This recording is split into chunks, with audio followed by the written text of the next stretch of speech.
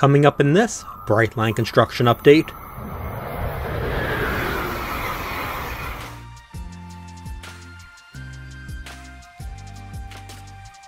This update looks at the first test trains to reach 125 miles per hour on the new Orlando line on March 2nd, 2023. Brightline's Orlando line runs from Orlando International Airport to Cocoa, Florida, where it joins the existing Florida East Coast Railway main line to Miami. Testing is currently occurring between the Orlando station at the airport and State Road 520.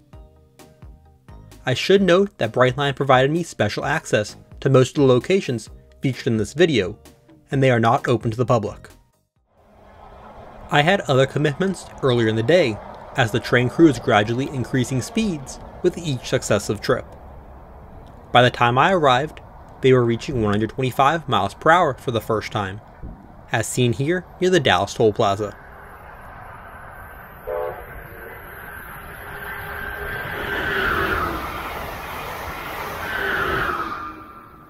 One hundred twenty-five miles per hour is the maximum speed for this new line between Cocoa and Orlando.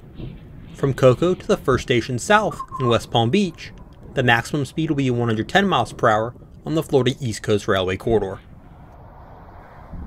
Here is what that first run at 125 looked like from the ground.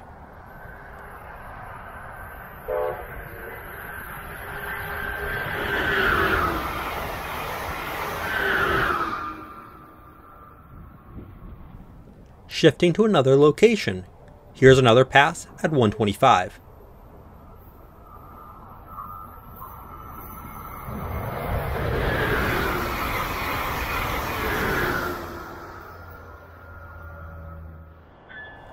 Part of the testing regiment, which was approved by the Federal Railroad Administration, and who were also on site overseeing the testing, included coming to a complete stop from 125, then accelerating again. Here it is starting up again after a stop at the Econlockhatchee River Bridge heading east.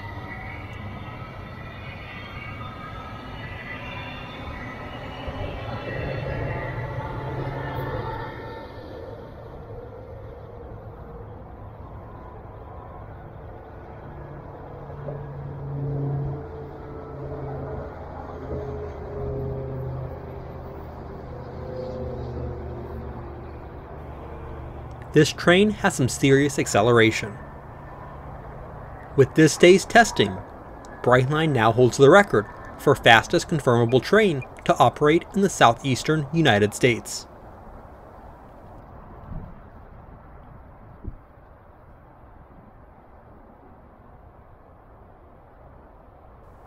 It is crossing the Dallas Boulevard Bridge here. And here it is, coming back west. The train being used is Bright Green 2. This is one of the new trains being added to Brightline's fleet for the Orlando expansion, and was delivered directly to the Orlando Vehicle Maintenance Facility last summer.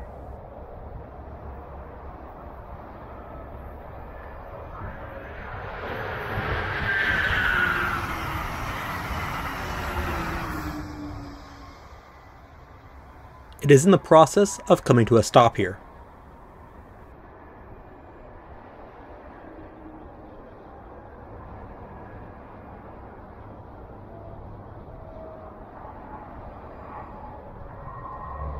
And here's that pass from the ground. As part of the requirements for 125 mile per hour operation, the entire Orlando line is a sealed corridor with fencing and no at-grade crossings.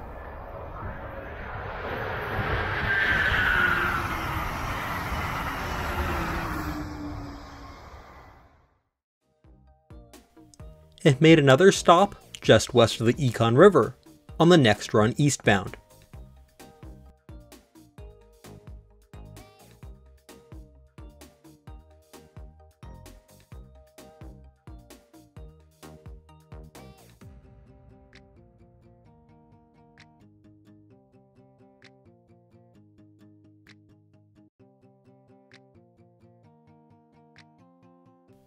Here is another look at it getting up to speed.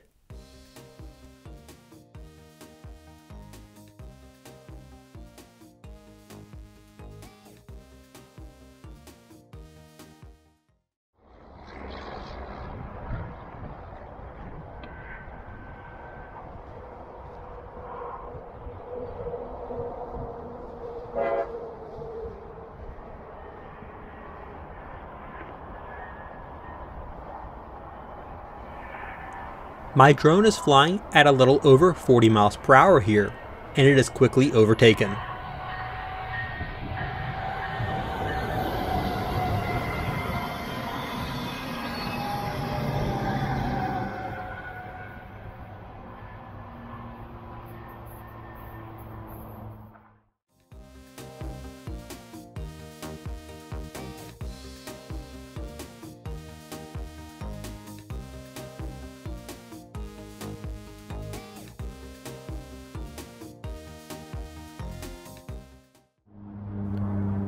And here's one more westbound pass here without slowing down. One of the FRA testing requirements called for the train to exceed the maximum operating speed by 5 miles per hour. So on several runs, the train made it up to 130 miles per hour.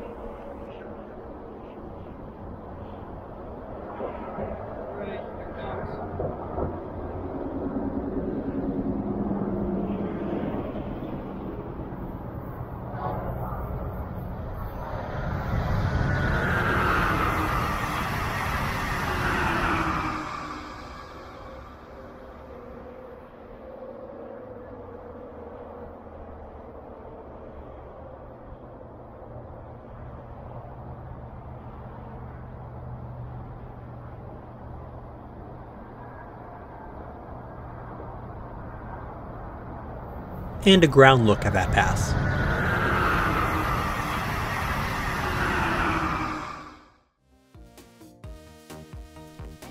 Now near Innovation Way, as it is coming up the ramp to the bridge over the OUC Stanton rail line, which the Orlando Utilities Commission uses to receive coal trains for its Stanton Energy Center power plant.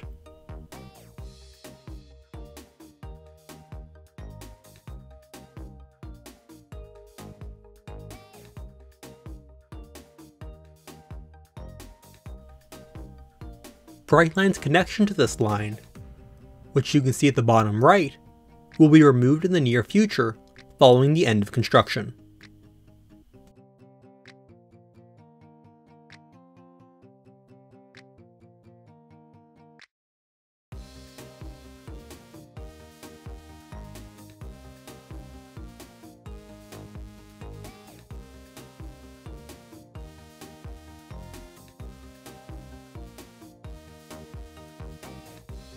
And here it is, passing under Innovation Way. This exit off State Road 528 was built after Brightline's project was announced and was designed with the right-of-way in mind.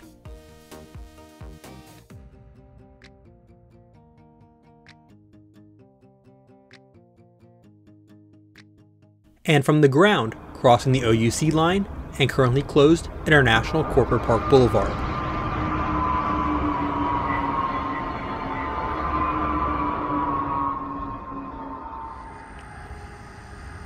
My final catch was it approaching and entering the Orlando station as it returned back to the vehicle maintenance facility for the day. You can see Orlando International Airport's signature control tower behind it.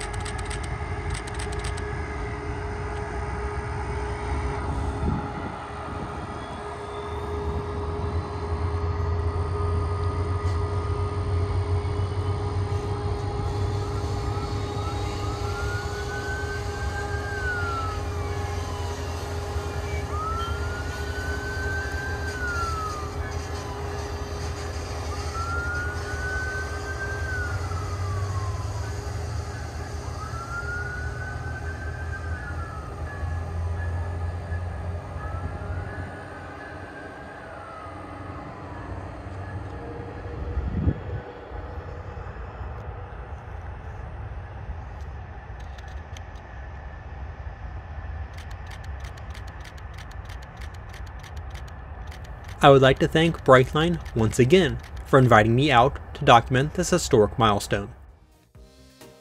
Thanks for watching, be sure to like button and subscribe. Also check out my social media pages.